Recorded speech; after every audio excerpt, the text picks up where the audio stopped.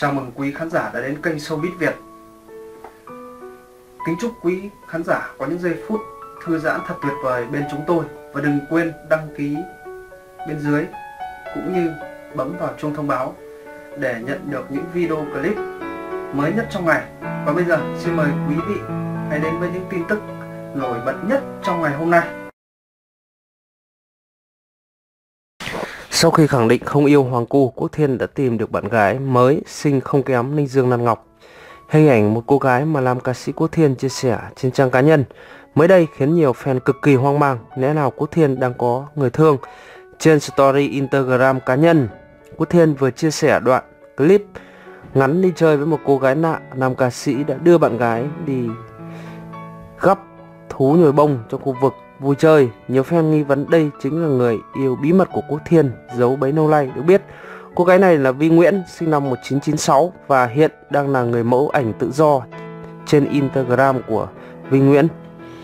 Được hơn 56.000 người theo dõi, có vẻ như cô nàng cũng là một trong những hot girl đình đám trên mạng xã hội.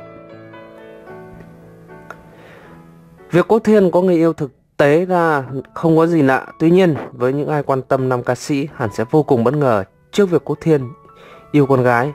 Dựa vào động thái của anh chàng trên mạng xã hội, No Life Fan vẫn nghĩ cố Thiên thuộc cộng đồng. Do vậy, hình ảnh cô gái xinh xắn được cho là người yêu cố Thiên chẳng khác nào tin xét đánh với người hâm mộ. Trên story của Vi Nguyễn, cô nàng cũng chia sẻ đoạn clip tương tự cố Thiên kèm dòng caption bắt gặp Vi đi gấp thú cùng trai nạ Trước đó trong một bài phỏng vấn với báo chí Quốc Thiên đã lên tiếng khẳng định anh và Stanis Hoàng Cu hoàn toàn không có chuyện yêu đương hẹn hò mà đơn thuần là tình bạn thân thiết.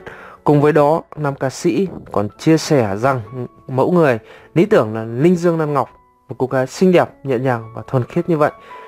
Cô bạn được Quốc Thiên đăng tải hình ảnh trên Instagram cũng có ngoại hình cực xinh xắn và sắc nét, đúng chuẩn bạn gái mà làm ca sĩ muốn có. Chính vì vậy, nhiều người đang nghi ngờ Quốc Thiên đã thực sự có người thương. Hiện tại người hâm mộ đang mong chờ phía Quốc Thiên lên tiếng xác nhận thông tin có bạn gái là sai hay đúng. Xin chân thành cảm ơn quý vị đã theo dõi video. Quý vị hãy kích vào đăng ký kênh ở phía dưới để cập nhật những video mới nhất trong ngày quý vị nhé. Xin cảm ơn quý vị rất nhiều.